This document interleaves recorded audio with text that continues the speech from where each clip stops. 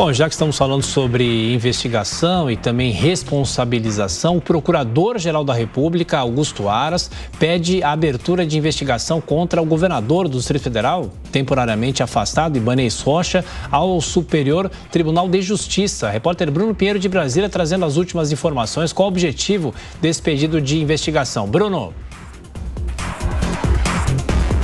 Identificar os responsáveis, viu, Tiago? Tanto o envolvimento do governador afastado, Ibanez Rocha, se ele tinha o conhecimento do risco de invasão, sobre o número do efetivo que seria necessário estar de plantão no final de semana e sobre esses relatórios que estavam sendo é, levantados eh, durante as últimas horas e a última semana. Ibanez Rocha disse que estava recebendo informações, agora é entender se ele foi enganado ou se ocultaram informações. Esse ritual de Augusto Aras é muito normal, enviar ao STJ, já que é o órgão responsável em investigar e julgar os governadores, representantes dos estados. Então, já foi enviado isso ontem, na segunda-feira, dia 9 de janeiro. Lembrando que Ibanez Rocha Rocha, ele foi afastado no último domingo, uma decisão do ministro Alexandre de Moraes, esse afastamento que vai durar 90 dias. Então, diante disso, ele chegou a emitir uma nota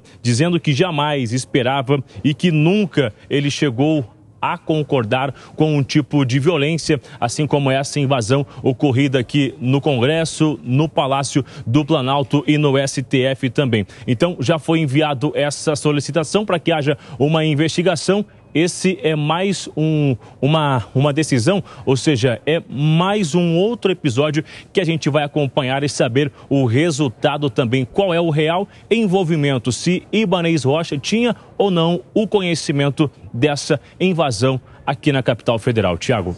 Bom, daqui a pouco a gente volta com mais informações de Brasília. Bruno Pinheiro, até já.